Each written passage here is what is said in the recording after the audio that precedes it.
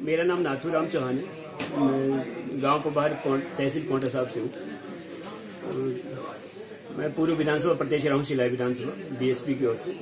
पूर्व शिमला लोकसभा का प्रभारी भी रहा हूँ। गाँव में हमारा पुश्तनी मकान था जिसका जीर्णोद्धार कार्य तीन साल पूर्व हमने शुरू किया था। पर भाई के द्वारा उसके ऊपर स्टे लगाया गया और स्टे में भी एक साल बाद हम चुनाव जीते। हमने सॉरी उसका केस जीता था कोर्ट से।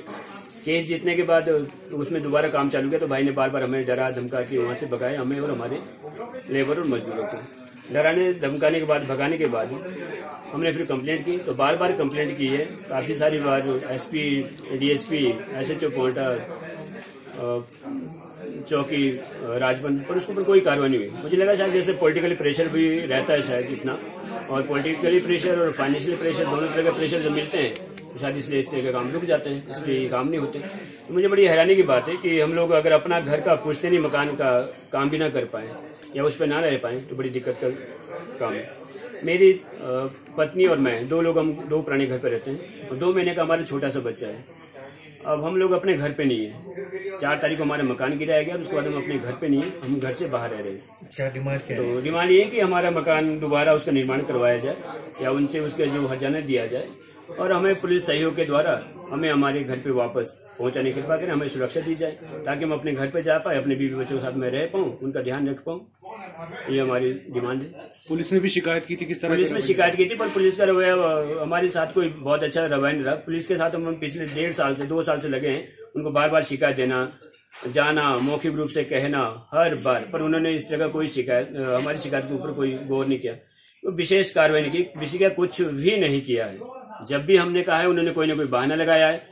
उन्होंने कभी बोलते कि कार्य आपने किसी, आपने कागज़ किसी और को दिया था, उसका ट्रांसफ़र हो गया, वो यहाँ पर है नहीं, या हमारे पास आदमी नहीं है, या हमारे पास रोज एक ही काम नहीं रह गया है। तो मुझे नहीं लगता कि शायद वो इस पर कार्रवाई करेंगे भी, और इसलिए उन सब लोगों के हौसले बुलंद है। और मैं तो बोलता हूँ कि ये आतंकवादी बोलते हैं इसको दूसरी भाषा में। किसी को आतताई करना, किसी को आतंकित करना, वो आतंक ही होता है। आतंक वो नहीं होता कि पाकिस्तान से आ जाए, चीन से आ जाए, उसको आतंकवादी बोलते उसको आतंक घर में भी जो उसको प्रेशर दबाव दिया जाता है, उसको घर में रहने दिया जाता है, उसको खाने पीने नहीं दिया जाता, उसके, वो अपने बीवी बच्चों के साथ नहीं रह सकता, उसके दो महीने का छोटा सा वाल है, उसके साथ उसको नहीं रहने दिया जाता, उसको भी आतंक बोलते हैं। अभी सब आतंक और क्या हो सकता है? और पुलिस अगर ऐसे उसके कार्य के ऊपर कार्रवाई ना कर तो फिर किसके ऊपर कार्रवाई करती है? अगर कभी वो टरकाने वाला बात, वो कभी बोलते रेवेन्यू का मामला है रेवेन्यू वाले बोलते हैं कि पुलिस का मामला है तो हमें शायद हम में रह जाएँगे। और हमें अगर हम जैसे लोगों को ये सब झेलना पड़ता तो आम आदमी को कितना झेलना पड़ता होगा?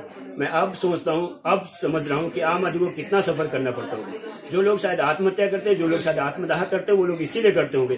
शासन और प्रशासन से परेशान होकर इसलिए लोग ऐसा कदम उठाते उठाते मुझे भी कभी लगता था कि ऐसा लोग क्यों करते आज लगता है कि ऐसा करते हैं, इसलिए करते हैं। उनके ऊपर इतना दबाव, इतना प्रेशर होता है कि आज मेरे ऊपर ही वो कार्रवाई की जाती है। मुझे ही चौकी बुलाया जाता है। मुझे एस कार्यालय में, मुझे ही थाने चौकी में आप आओ। और पूरे पूरे दिन वहाँ बिठा के, पूरे पूरे आज भी बैठे रहो, कल आएँगे जी, कल आपके साथ चलेंगे, परसों आपके साथ चलेंगे, तीन तीन, चार चार दिन इसमें लगाए जाते हैं। अब चार तारीख का मामला है ये, और आज तक इस पर कोई कार्रवाई नहीं उससे पहले भी कई बार हम लिखित में दे चुके थे, जो मैं आप सब लोगों को दूँगा अभी। तो कोई कार्रवाई नहीं हो रही उसके ऊपर।